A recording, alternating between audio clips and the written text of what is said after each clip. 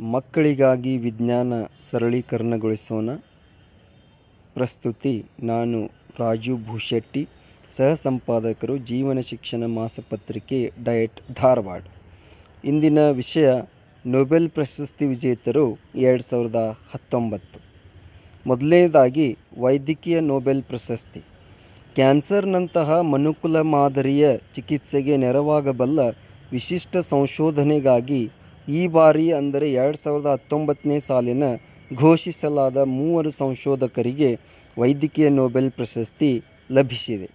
ಜೀವಕೋಶಗಳ ಗ್ರಹಿಕೆ ವಿಧಾನ ಹಾಗೂ ಲಭ್ಯ ಇರುವ ಆಮ್ಲಜನಕಕ್ಕೆ ಹೊಂದಿಕೊಳ್ಳುವ ಅವುಗಳ ವಿಸ್ಮಯಕಾರಿ ಸೂಕ್ಷ್ಮವನ್ನು ಪತ್ತೆ ಹಚ್ಚುವ ಮೂಲಕ ಕ್ಯಾನ್ಸರ್ನಂತಹ ಹಲ, ಹಲವು ಮಾರಕ ಕಾಯಿಲೆಗಳಿಗೆ ಪರಿಣಾಮಕಾರಿಯಾಗಿ ಚಿಕಿತ್ಸೆಗೆ ನೆರವಾದ ಅಮೇರಿಕಾದ ವಿಲಿಯಂ ಕೆಲಿನ್, ಗ್ರೇಗ್ ಸೆಮೆಂಜಾ ಮತ್ತು ಇಂಗ್ಲೆಂಡ್ನ ಪೀಟರ್ ರಟ್ಕ್ಲೀಫ್ ಅವರ ಸಂಶೋಧನೆಗೆ ಈ ಬಾರಿಯ ವೈದ್ಯಕೀಯ ನೊಬೆಲ್ ಪ್ರಶಸ್ತಿ ಸಿಕ್ಕಿದೆ.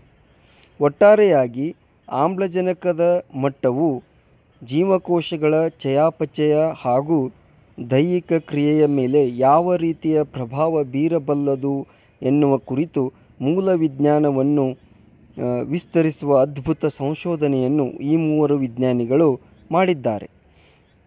ಇದರಿಂದಾಗಿ ರಕ್ತಹೀನತೆ, ಕ್ಯಾನ್ಸರ್ ಕಾಯಿಲೆಗಳ ಚಿಕಿತ್ಸೆಗೆ ಬಹುದೊಡ್ಡ ತಿರುವು ಲಭಿಸಿದೆ.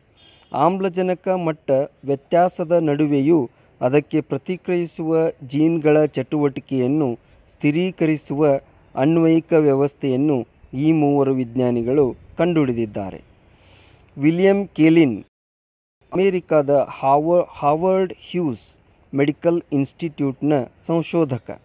ಗ್ರೇಗ್ ಸೆಮೆಂಜಾ ಅಮೇರಿಕಾದ John Hopkins Institute for Cell Engineering ಸಂಸ್ಥೆಯ ವ್ಯಾಸ್ಕ್ಯುಲಾರ್ ರಿಸರ್ಚ್ ಪ್ರೋಗ್ರಾಮ್ನ ನಿರ್ದೇಶಕ. ಪೀಟರ್ ರಟ್ಕ್ಲೀಫ್ ಲಂಡನ್ನ ಫ್ರಾನ್ಸಿಸ್ ಕ್ರಿಕ್ ಇನ್ಸ್ಟಿಟ್ಯೂಟ್ನ ಕ್ಲಿನಿಕಲ್ ರಿಸರ್ಚ್ನ ನಿರ್ದೇಶಕ. ಇಲ್ಲಿ ವಿಲಿಯಂ ಕೆಲಿನ್ ಅವರ ಭಾವಚಿತ್ರ, ಗ್ರೇಗ್ ಸೆಮೆಂಜಾ ಅವರ ಭಾವಚಿತ್ರ ಮತ್ತು ಪೀಟರ್ ರಟ್ಕ್ಲೀಫ್ ಅವರ ಭಾವಚಿತ್ರವನ್ನು ಗಮನಿಸಬಹುದಾಗಿದೆ. ಇನ್ನು ನಂತರ ಬ್ರಹ್ಮಾಂಡ ಸೃಷ್ಟಿ ಶೋಧಕರಿಗೆ ಭೌತಶಾಸ್ತ್ರದ ನೊಬೆಲ್ ಪ್ರಶಸ್ತಿ.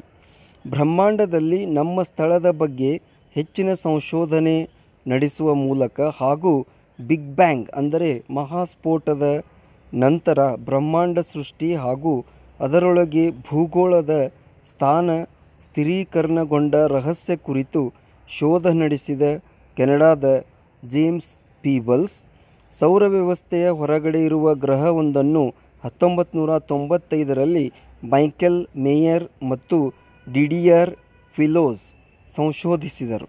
ಈ ಕಾರಣಕ್ಕಾಗಿ ಅವರಿಗೆ ನೊಬೆಲ್ ಪ್ರಶಸ್ತಿ ದೊರೆತಿದೆ.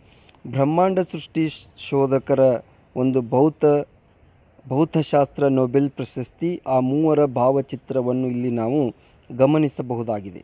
ರಸಾಯನಶಾಸ್ತ್ರದ ನೊಬೆಲ್ ಪ್ರಶಸ್ತಿ ಎರಡು ಸಾವಿರದ ಹತ್ತೊಂಬತ್ತು.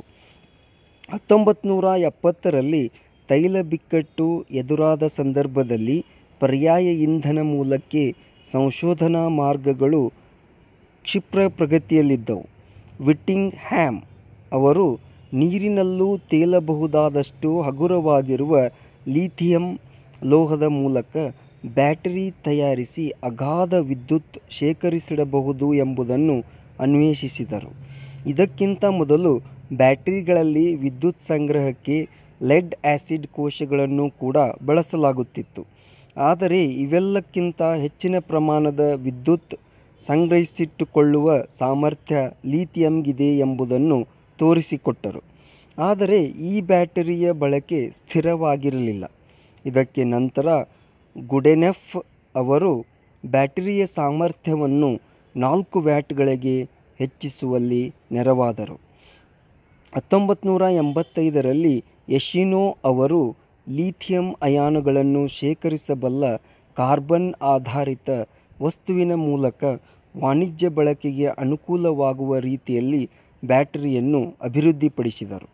ಹೀಗೆ ಮೊಬೈಲ್ ಹಾಗೂ ಎಲೆಕ್ಟ್ರಿಕ್ ವಾಹನಗಳ ಕ್ಷೇತ್ರದಲ್ಲಿ ಕ್ರಾಂತಿಕಾರಕ ಬದಲಾವಣೆಗೆ ಸಾಕ್ಷಿಯಾದ ಈ ಲಿಥಿಯಂ ಅಯಾನ್ ಬ್ಯಾಟರಿಯ ಆವಿಷ್ಕಾರಕ್ಕೆ ಅಮೆರಿಕದ ಎಂಜಿನಿಯರ್ ಜಾನ್ ಗುಡೆನೆಫ್, ಬ್ರಿಟನ್ ಮೂಲದ ಪ್ರೊಫೆಸರ್ ಸ್ಟ್ಯಾನ್ಲಿ ವಿಟ್ಟಿಂಗ್ಹ್ಯಾಮ್ ಹಾಗೂ ಜಪಾನಿನ ಕೆಮಿಸ್ಟ್ರಿ ಅಕೀರಾ ಯಶಿನೋ ಅಕೀರಾ ಯೋಶಿನೋ ಅವರಿಗೆ ಪ್ರತಿಷ್ಠಿತ ನೊಬೆಲ್ ಪ್ರಶಸ್ತಿಯನ್ನು ಜಂಟಿಯಾಗಿ ನೀಡಲಾಗಿದೆ.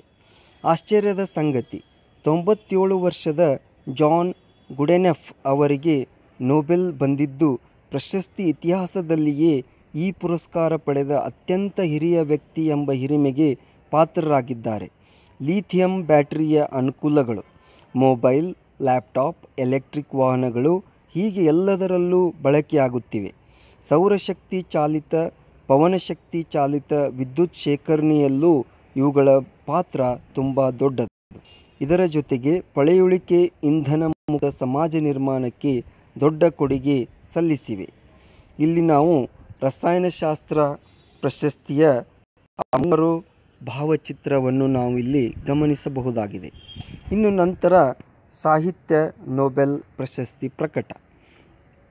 ಸಾಹಿತ್ಯ ವಿಭಾಗದ ನೊಬೆಲ್ ಪುರಸ್ಕಾರವನ್ನು ಎರಡು ಸಾವಿರದ ಹದಿನೆಂಟನೇ ಸಾಲಿನ ಪೋಲ್ಯಾಂಡ್ನ ಬರಹಗಾರ್ತಿ ಓಲ್ಗಾ ಟೋಕರ್ಜುಕ್ ಪಡೆದರೆ ಎರಡು ಸಾವಿರದ ಹತ್ತೊಂಬತ್ತನೇ ಸಾಲಿನ ಪುರಸ್ಕಾರವನ್ನು ಆಸ್ಟ್ರಿಯಾ ಕಾದಂಬರಿಕಾರ ಮತ್ತು ನಾಟಕಕಾರ ಪೀಟರ್ ಹ್ಯಾಂಡ್ಕೆ ಅವರಿಗೆ ದೊರೆತಿದೆ. ಇದುವರೆಗೂ ಸಾಹಿತ್ಯ ಕ್ಷೇತ್ರಕ್ಕೆ ಸಂದ ನೂರ ಹದಿನಾರು ನೊಬೆಲ್ ಪುರಸ್ಕಾರಗಳ ಪೈಕಿ ಟೋಕರ್ ಜೂಕ್ ಹದಿನೈದನೇ ಮಹಿಳೆ ಎಂಬ ಹೆಗ್ಗಳಿಕೆಗೆ ಪಾತ್ರರಾಗಿದ್ದಾರೆ. ಇಲ್ಲಿ ನಾವು ಅವರಿಬ್ಬರ ಚಿತ್ರವನ್ನು ಗಮನಿಸಬಹುದಾಗಿದೆ. ಸಾಹಿತ್ಯ ನೊಬೆಲ್ ಪ್ರಶಸ್ತಿ ಪಡೆದ ಇವರ ಭಾವಚಿತ್ರ. ಇನ್ನು ನೊಬೆಲ್ ಶಾಂತಿ ಪುರಸ್ಕಾರ. ಇಥಿಯೋಪಿಯಾ ಪ್ರಧಾನಿ ಅಬಿ ಅಹ್ಮದ್ ಅವರು ಎರಡು ಸಾವಿರದ ಹತ್ತೊಂಬತ್ತನೇ ಸಾಲಿನ ನೊಬೆಲ್ ಶಾಂತಿ ಪುರಸ್ಕಾರಕ್ಕೆ ಪಾತ್ರರಾಗಿದ್ದಾರೆ. ಎರಿಟ್ರಿಯಾ ಜೊತೆಗೆ ದೇಶ ಸುದೀರ್ಘ ಕಾಲದಿಂದ ಹೊಂದಿದ್ದ ಗಡಿ ಬಿಕ್ಕಟ್ಟನ್ನು ಯಶಸ್ವಿಯಾಗಿ ಬಗೆಹರಿಸಿ, ಶಾಂತಿ ನೆಲೆಸಲು ಕೈಗೊಂಡ ಕ್ರಮಗಳಿಗಾಗಿ ಅವರನ್ನು ಈ ಪ್ರಶಸ್ತಿಗೆ ಆಯ್ಕೆ ಮಾಡಲಾಗಿದೆ.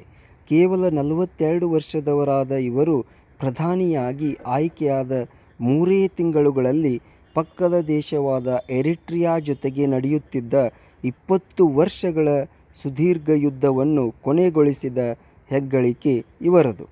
ನೊಬೆಲ್ ಶಾಂತಿ ಪುರಸ್ಕಾರದಂಥ ಅವರ ಭಾವಚಿತ್ರವನ್ನು ಅಬಿ ಅಹಮದ್ ಅವರ ಭಾವಚಿತ್ರವನ್ನು ನಾವಿಲ್ಲಿ ಗಮನಿಸಬಹುದಾಗಿದೆ.